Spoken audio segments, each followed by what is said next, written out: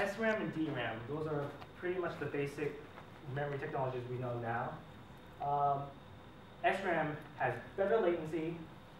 Uh, DRAM is smaller in cell size, but both of these are volatile. So that's you can only use it in um, certain situations like uh, program state or something like that.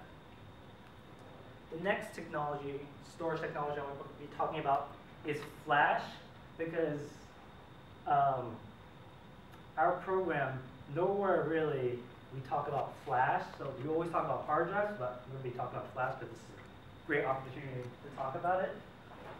So um, before I forget, I'm going to be explaining what these word line and bit line means. So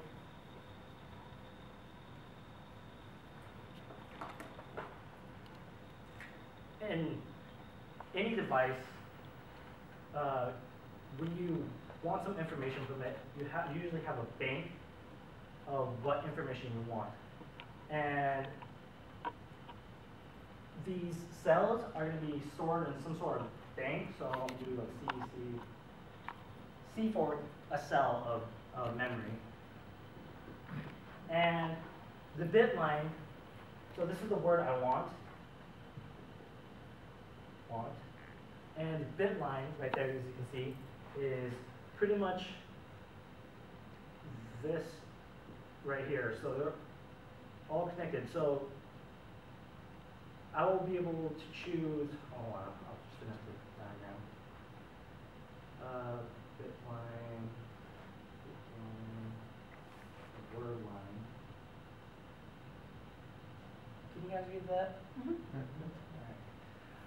So the word line indicates which word you want in the memory bank, and the bit line gives you the bit in that uh, row. So if I want this word, I turn on this word line and turn on this bit line, and I get the information of whatever state is in here into here. So that's the basic idea of what word line and bit line is. So, flash.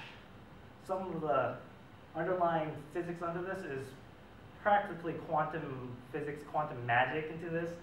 So I'm just not going to explain it in detail, but I'll tell you, tell you the basic idea. So a flash cell is pretty practically a, a transistor. So as you can see, as compared to DRAM and SRAM, where it takes like six transistors for SRAM, but for flash, it's practically a transistor, and it just has an extra layer called this floating gate, which is just a, a material that's, uh, that can hold charge for a very, very long time.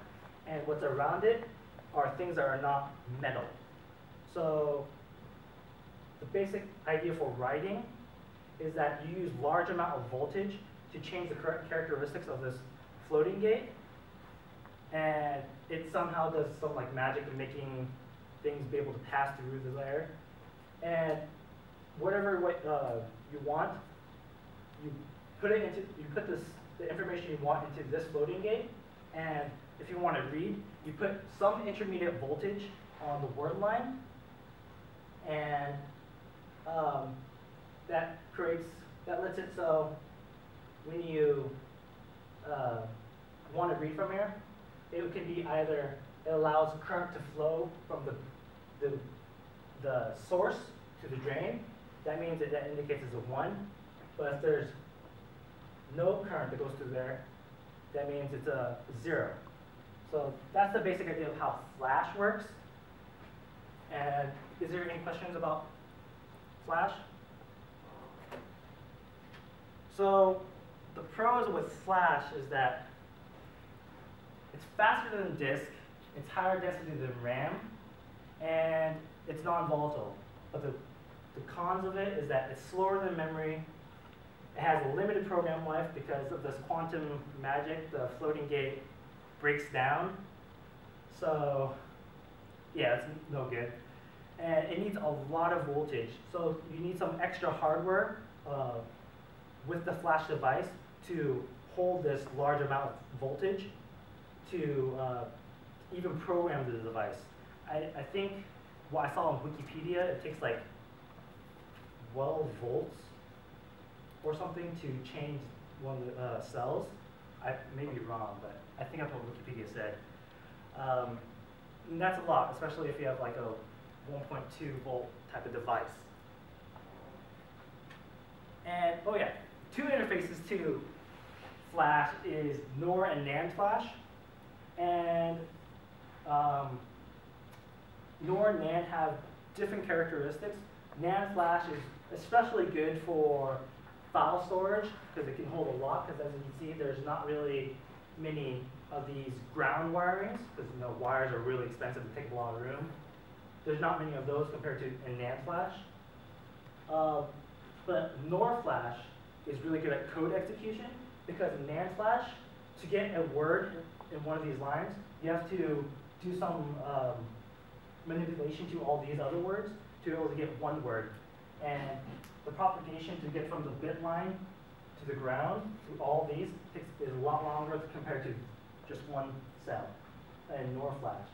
So NOR flash is usually preferred to be used for code execution. So like in your cell phones, there's NOR flash, or even in, your, uh, in any uh, computer system that has NOR flash, it usually holds boot, boot code because it does the same thing and you don't need to uh, change that code in the boot sequence.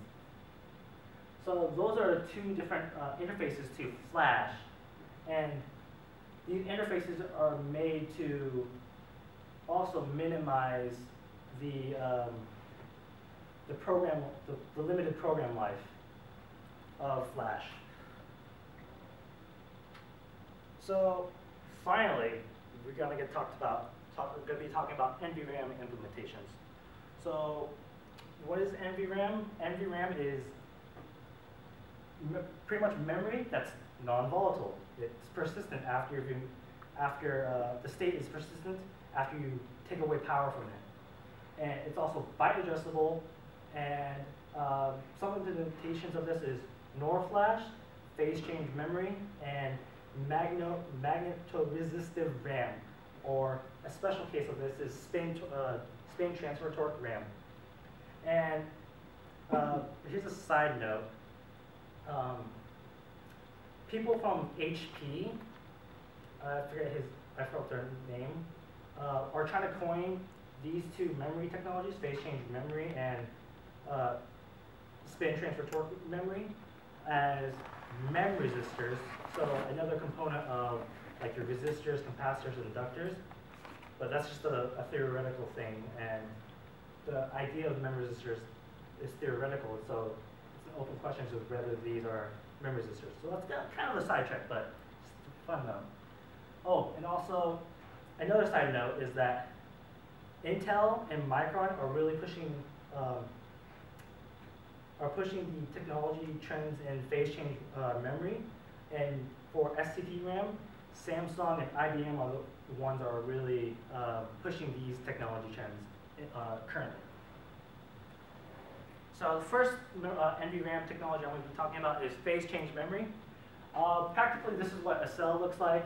This, uh, this gray box is a crystal, and that's the, the thing that holds the state of the information.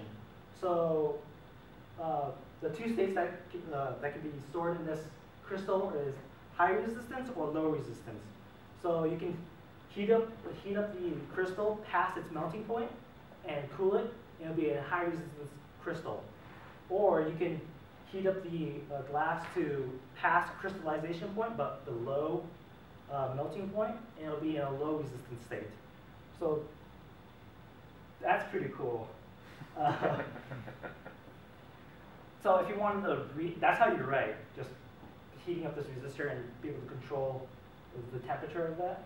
And if you want to read, you practically just send some current through this bottom electrode to the top electrode and uh, find the voltage difference of that. So if you guys take in like EE 101, if you see um,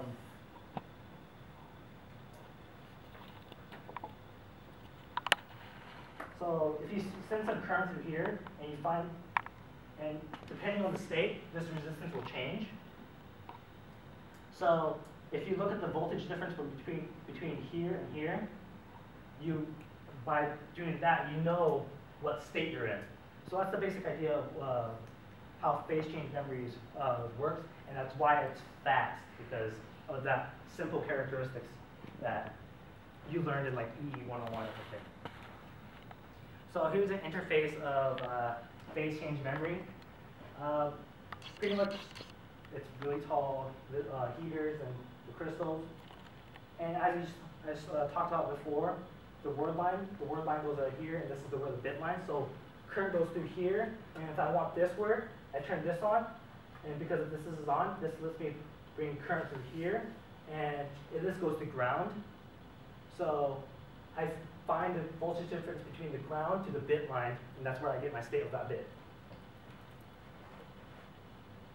So the pros and cons with phase change memory is that you can have multi-level, uh, multiple states in that uh, crystal, and it's faster. Uh, read writes are faster in uh, phase change uh, than flash.